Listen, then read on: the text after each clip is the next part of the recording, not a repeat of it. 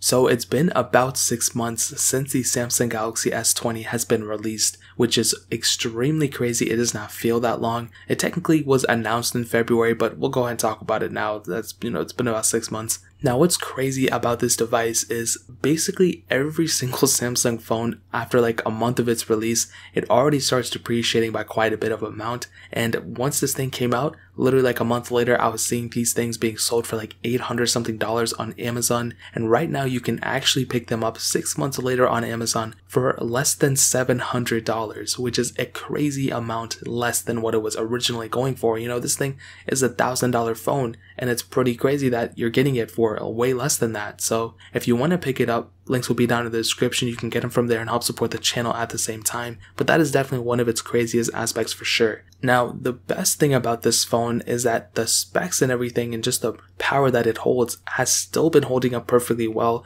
We've seen sometimes when a phone comes out, you know, like literally like even a month or two after, it already kind of feels outdated, especially compared to the competition. But a phone like the Samsung Galaxy S20 does not feel like that. This isn't even like the S20 Plus or the S20 Ultra. This is the base model Galaxy S20, and I've been using it a ton. I was I'm pretty surprised by how much I've been using it. Anytime I make any Android video for like the second channel, I literally almost always use the S20. It's a great phone, has great performance. There are some cons for it, but there's also a lot of pros as well. And these last six months I've been owning it, like I think this is my most used Android device I've been using for the last couple of months for sure. Now the panel, everything has been holding up extremely well. And when I talked about, you know, when I compared to a lot of the other phones and, you know, maybe it feeling, you know, not as, you know, good as the newer ones that just came out, not the case at all, especially when it comes down to the panel. This thing has that 6.2 inch dynamic AMOLED display and its a biggest asset for sure.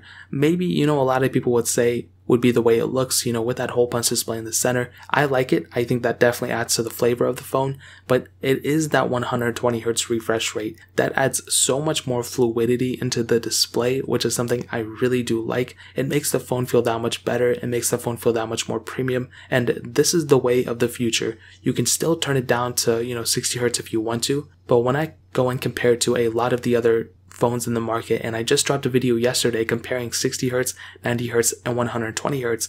I used the S20 for the 120 Hz option and you can see and I saw that it was a really, really big difference between the two. And I can definitely tell you when it comes down to the display, it is one of its biggest highlights for sure. And when I look back into my, you know, ownership of this phone within the last six months, it's definitely been the display. It's been one of its highlights for sure. And I really, really do like that about this phone. The way it feels and everything has still held up as well. It doesn't feel bad. And what's even cooler is the camera setup on the back. Still a great camera setup, triple camera setup as well. And I'll go into a little bit more detail in a second. But in terms of the outside, I love it. It's still held up completely fine. Software wise, this is actually really fun because we actually did get a software update. One UI 2.5, One UI 3 should be coming out whenever, probably like six months from now. But this phone did end up getting the One UI 2.5 update, which is really cool. And this is definitely one of my favorite 0.5 updates that Samsung's released for One UI. I don't know if they released One UI 1.5, maybe they did, but this update brought a lot of cool different features. And this update just came out like less than a month ago, I think.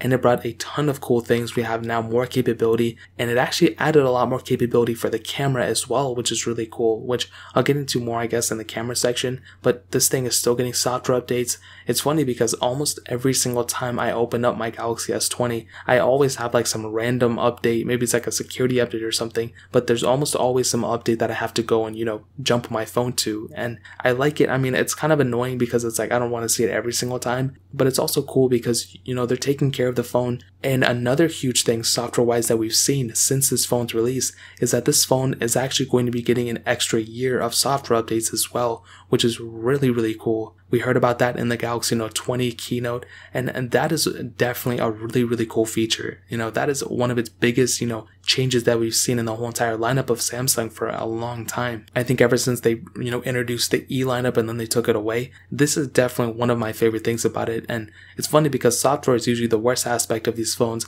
but it does have, you know, a little bit of more work to be done. I wish it was more stock, but the fact we're getting an extra year of software update and we just got that One UI 2.5 update is definitely a really cool thing about this phone for sure. So software wise, the last six months, it's only gotten better in my opinion. Performance wise too, like I, I compared this phone to the Galaxy Note 20s that just came out. I compared it to a lot of other phones that came out as well after this device, and it still holds up extremely well. I mean, it's it's the it's one of the fastest phones I've used.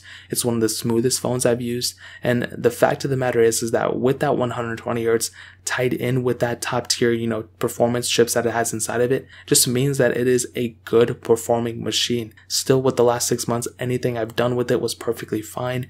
I don't know what else to say. Like, it's a great performing device yeah, maybe it's not as good as maybe like the Note 20 Ultra or something like that, or maybe even the S20 Ultra, but it's still a great performing device. It can handle top tier graphics at the same time. It can handle really anything you throw at it. And like I said before, if it didn't have the 120 Hz, I would maybe give the, you know, impression that maybe it wasn't as smooth or something, which is crazy to say because a lot of the games don't even play at 120 Hz but it's just the ability that it just when I swipe out of it, it like smoothly goes into the home screen and it smoothly transitions from one thing to the other. That really adds a lot of value overall. And the last six months, that's one thing that I was able to see immediately. And it's definitely one of my favorite features about this phone for sure. So when it comes down to the performance, the performance has been great. I haven't had any problems with it. So in terms of that, that really pretty much covers it. Now hitting on the cameras, like I stated before, definitely one of its biggest assets.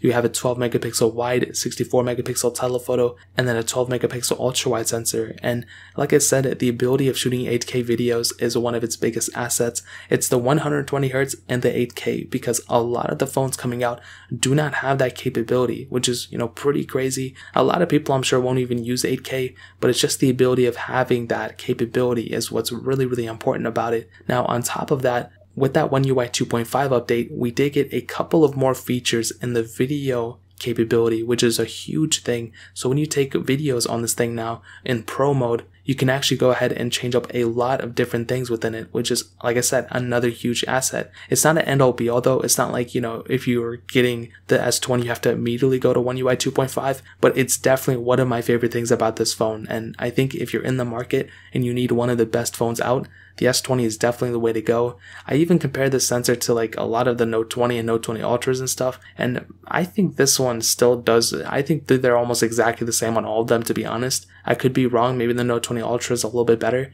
but the S20 I think held up extremely well when it came down to the entire phone itself, especially when it came down to the camera. So in terms of the camera sensor, that pretty much covers it up. And battery life has been extremely good as well. You know, it has, it still has that 4000 mAh battery. It hasn't degraded at all yet, which I'm really happy about. It probably has, but maybe my numbers are wrong. Now, the big thing to keep in mind about this is that on my second channel, like I stated before, I take a ton of different videos for all my videos that I do on that, and a lot of them are on Android devices. Now, I don't take the video on Android devices, but I make videos about these Android phones, and most of the time I let the phones charge up. Like I charge them to 100% and I just let them sit idle. You know, I'll make a video one time, then like a week later, I'll make another one. And almost always this phone holds its charge for like a long time on end, which is crazy. You know, I'll charge up like a lot of my other phones and they'll probably end up dying. But with my S20, I can charge it, I can keep it to the side, and I can use it again later on. And that's one of my favorite things about it. Like on my S20 right now, I'm at 63% and I charged it like a couple of days ago. And the fact that it still has a charge and it's at 63% is pretty cool. I've been using it. I've been making videos about it and everything.